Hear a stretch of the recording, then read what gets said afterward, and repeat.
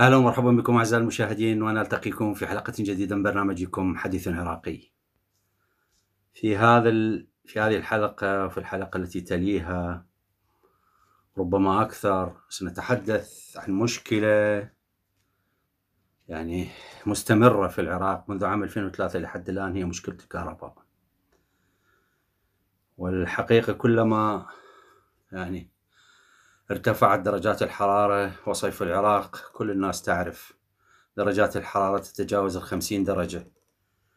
والله يساعد العراقيين على هذا الحر القاتل المهلك مع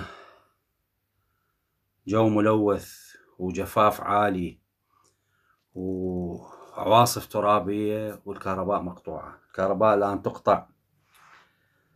في حدود 15 ساعة باليوم.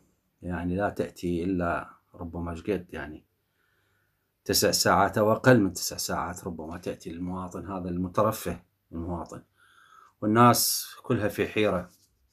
بداية لابد من القول أنه إحنا لدينا نحو 41 محطة يعني بالعراق لإنتاج الكهرباء.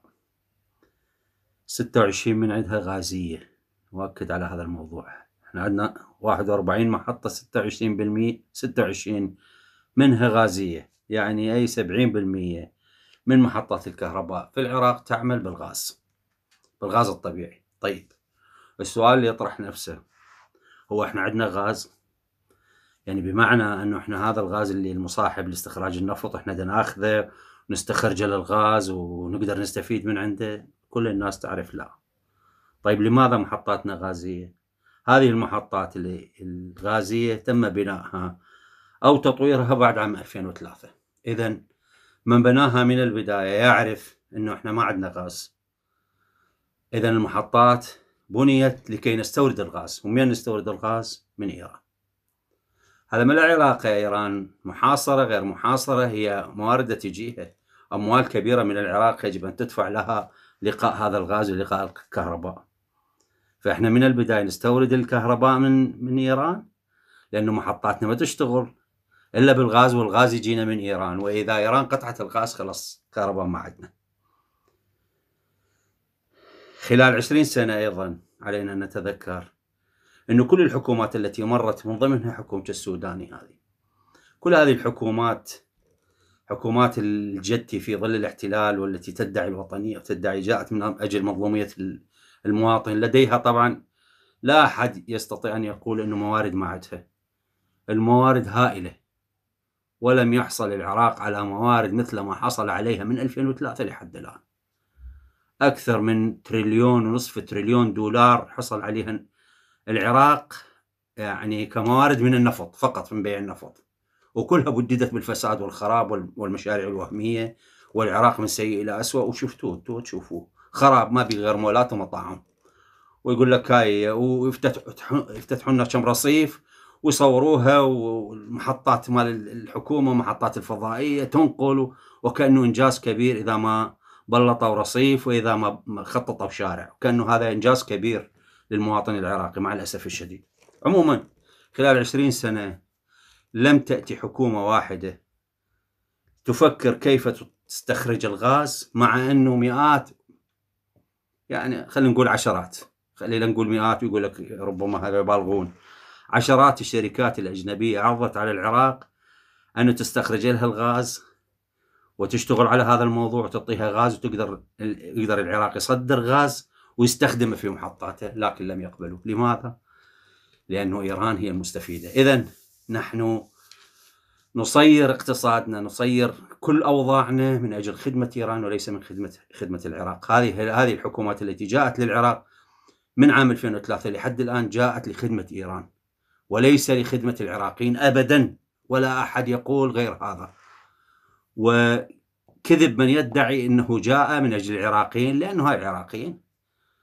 13 مليون تحت خط الفقر يأكلون من المزابل البطالة 15 مليون العاطلين عن العمل والمصيبة والأمراض والمستشفيات وكل السوء في العراق. والعراق من أسوأ البلدان وفساد وخراب لكن إيران تزدهر و... وتبني قوتها وتبني صناعتها وتبني ما أعرف منو ومدنها تنبني وشوارعها تتعمر و... لكن وهذا كله من اقتصاد العراق ويقولون هي محاصرة عموما. إذا مشكلة العراق هي مشكلة هي هي إيران أساسا. هي من تأمر ذيولها أن لا يبنوا محطات توليد كهرباء حرارية وغيرها لا تعتمد على الغاز. وتولد الطاقة للعراق تولد الكهرباء. وحتى العراق يظل يشتري الغاز والكهرباء من إيران. طبعا بضعف السعر. واحد من أعضاء الإطار التنسيقي هذا الذي يحكم العراق مع الأسف الشديد ويدعون إنهم يمثلون المواطن ويمثلون الوطنية العراقية ويمثلون العراقيين. يقول بالنص طبعا اسمه موجود لكن يعني واحد يترفع حتى عن ذكر اسمه. والناس تقدر تلقى اسمه بالنص بس نقول لهم إيش قال والعالم يقولون يلقوه. هذا الواحد يقول ليش قضية الكهرباء هاي؟ شنو القضية هاي؟ السبب في هذه القضية. يقول بالنص هذا ال... هذا ال... واحد من أعضاء الإطار التنسيقي هذا الذي يحكم العراق اللي شكل حكومة السوداني اللي الميليشيات تحميه اللي هذه المصيبة الكبيرة. يقول بالنص الانقطاع المستمر للكهرباء هو بسبب جناب المواطن الكثيف. لا حول ولا قوة إلا بالله العظيم. المواطن هذا العراقي الشريف هذا الإنسان الصامد الصابر المحتسب المتحمل كل الضيم متحمل كل كل هذه النقاسة التي أنتم بها كل هذا فسادكم كل هذا خرابكم كل هذا الدمار متحمله هو هذا جناب المواطن الكثيف. يصفه بجناب المواطن الكثيف. يا ليش هذا جناب المواطن الكثيف؟ يقول لأن هذا المواطن يقوم بتشغيل خمس مكيفات. الله أكبر. والسخان وجلوبات الزايدة. هكذا بالنص هكذا يقول. إذا افترضنا أن كل مواطن عراقي والمواطنين دول الفقراء اللي ملاقي خبز يومه عنده مكيفات خمسة ماشي. ذول اللي قاعدين بالعشوائيات واللي ما عنده بيت وقاعد بالخرابة واللي ما أعرف شنو كوخ وبيت طيني ومدرسة ما عنده ومصيبة. هذا عنده خمس مكيفات. نعم مشغلها. خلينا نفترض مشغل الخمس مكيفات. طيب درجة الحرارة 60 درجة. شو يسوي بالسخان؟ شو يسخن بالسخان يشغله. ليش يشغل السخان يعني عقلك شو يقول لك من تحكي على المواطن؟ وهذا المواطن الكثيف؟ جناب المواطن الكثيف؟ يعني أنت مو كثيف ولا حكومتك كثيفة ولا هذا إطارك كثيف ولا أنتم اللي جيتوا ويا ويا الأمريكان وجيتوا ويا الاحتلال وسميتوه تحرير. واحدكم كثيف و هو وحزبه وكل كل كل تفكيره بس المواطن كثيف هذا المواطن البسيط من البصرة والعمارة والناصرية والكوت وكل مكان. هذا اللي قلتوا له أنت شيعي وإحنا إحنا أنتم الحاضنة مالتنا وإحنا جينا من أجل مظلوميتكم. هذا مواطن كثيف هذا المواطن كثيف اللي يتحملكم وتحمل ضيمكم وتحمل الفقر والأذى والسوء. الآن تتهمونه مواطن كثيف لأنه يشغل خمس مكيفات وسخان وقلوبات زايدة. مع الأسف الشديد رئيس الوزراء الحالي محمد شيع السوداني يقول إن حكومته شخصت منذ هو هو يقول يقول إن حكومتنا شخصت منذ استلامها المسؤولية الأسباب الحقيقية لأزمة الكهرباء. الله أكبر. وكانه مو 20 سنة والأسباب هي مخفية فتشي لوغاريتمات وعملت على وضع الحلول بثلاثة مستويات الحلول الآنية والمتوسطة والبعيدة. الله أكبر.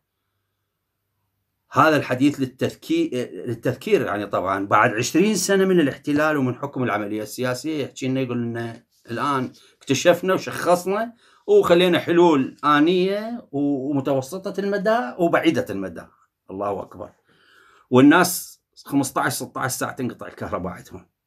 والصيف درجة الحرارة تجاوزت يمكن وصلت لل 60 ويقول إنه العقوبات الأمريكية يقول العقوبات الأمريكية وعدم الالتزام بآلية دفع مستحقات الغاز المتفق عليها عام 2018 تسببت بخفض التجهيز من الغاز الإيراني لا أكثر من النصف مما انعكس على سلبا على منظومة الإنتاج الوطني. هي هاي القضية؟ أنه أنت يعني لأنه ما أعطيت فلوس؟ القضية أنه أنتم ما بنيتوا محطات تقدرون تشغلوها.